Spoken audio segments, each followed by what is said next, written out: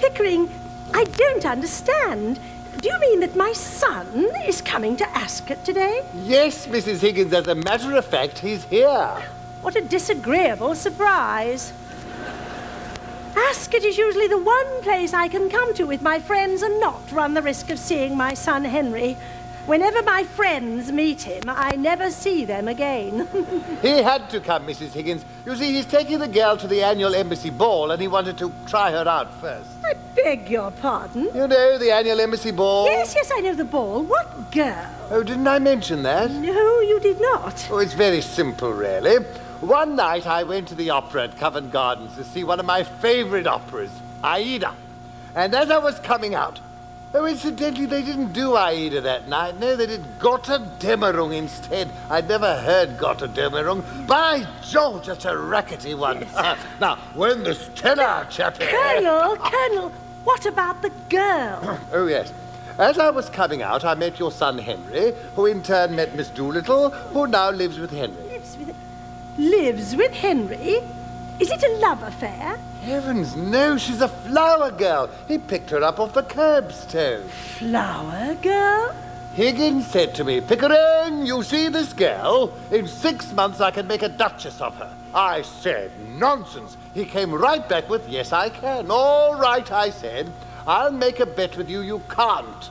And I did, and he is. The horses are leaving the paddock, Mrs. Higgins. Oh, excuse me, Mrs. Higgins, I must fetch her. No, Colonel, am I to understand that Henry is bringing a flower girl to Ascot? Yes, Mrs. Higgins, that's it, that's it precisely. Jolly good, Mrs. Higgins, jolly good. Charles, you'd better stay close to the car. I may be leaving abruptly.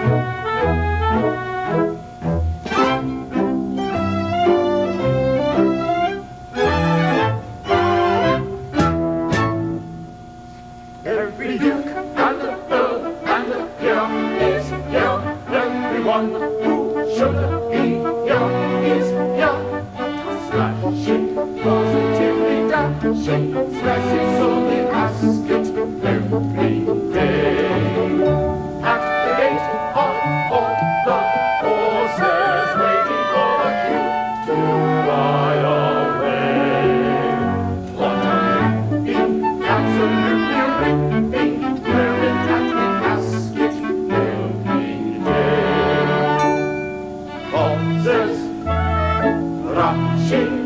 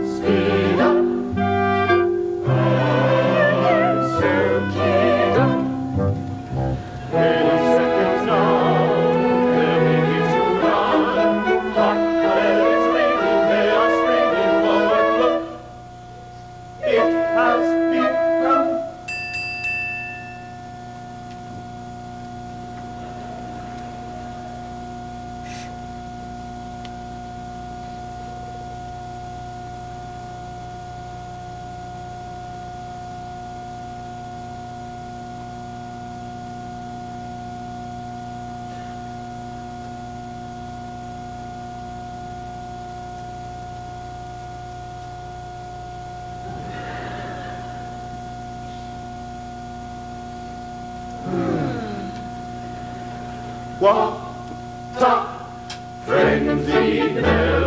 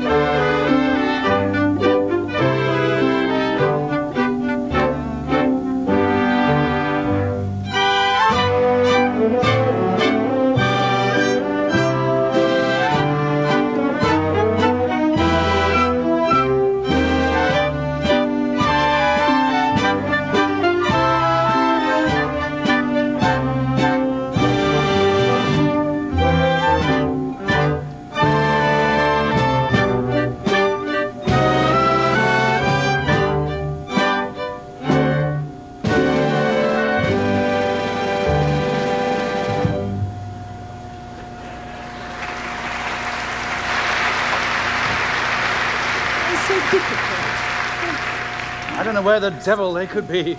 Oh, darling, there you are. Have you seen Pickering? Oh, oh, you do look nice. Yes, I have seen Colonel Pickering, and Henry, dear, I'm most provoked. Oh. I've heard that you're bringing a common flower girl from Covent Garden to my box. Yes, but she'll be all right, darling. No, no, I taught her how to speak properly, oh. and she has strict instructions as to her behavior.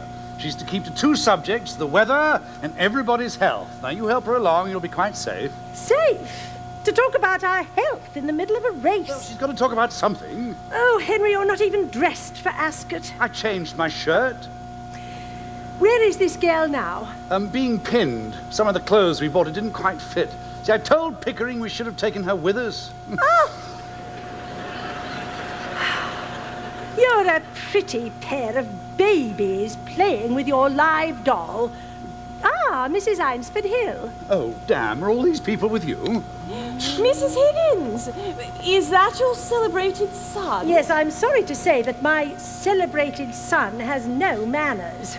he may be the life and soul of the Royal Society soirees, but he can be rather trying on more commonplace occasions. Ah! Ah, Colonel Pickering. You're just in time for tea. Thank you, Mrs. Higgins. May I introduce Miss Eliza Doolittle? My dear Miss Doolittle.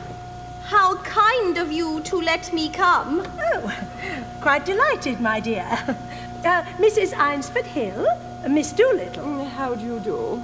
How do you do? And Lord and Lady Boxington, Miss Doolittle. How do you do? How do you do? And Freddie Eynsford Hill. How do you do? How do you do, Miss Doolittle? Good afternoon, Professor Higgins.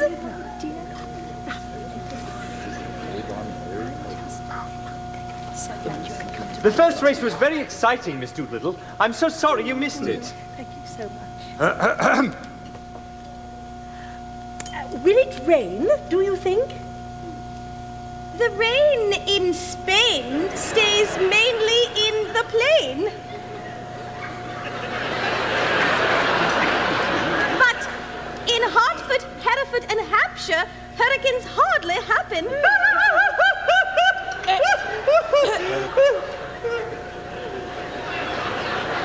How awfully funny. What's wrong with that, young man? I bet I got it right. Smashing. But I do hope we won't have any unseasonably cold spells. It brings on so much influenza. Ah. My whole family's susceptible to it. My aunt died of influenza, so they say.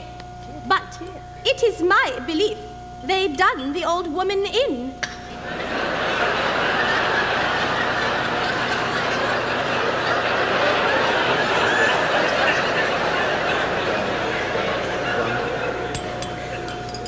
Done her in? Yes, Lord love you.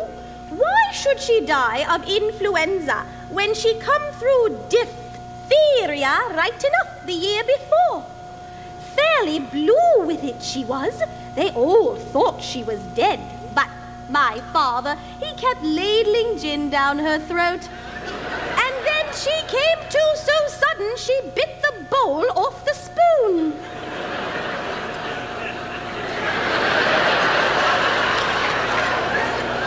Dear me.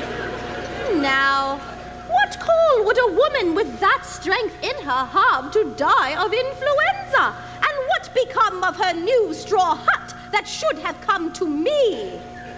Somebody pinched it. and what I say is, them as pinched it done her in. Uh, done her in? Done her in, did you say? Yes, it's the new small talk. To do somebody in means to kill them. Oh, oh, surely you don't believe your aunt was killed? Do I not? Them she lived with would have killed her for a hat pin, let alone a hat. But it can't have been right for your father to pour spirits down her throat like that. It might have killed her. Not her. Gin was mother's milk to her. Besides, he poured so much of it down his own throat. He knew the good of it.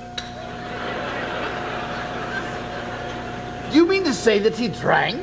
Drink? My word, something chronic.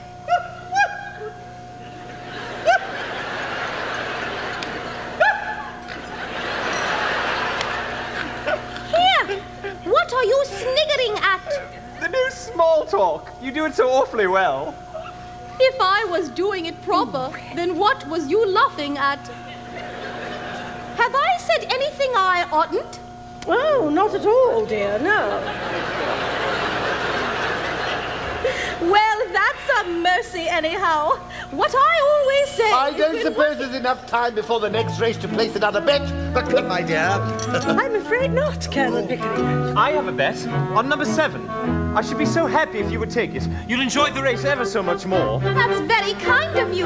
His name is Dover.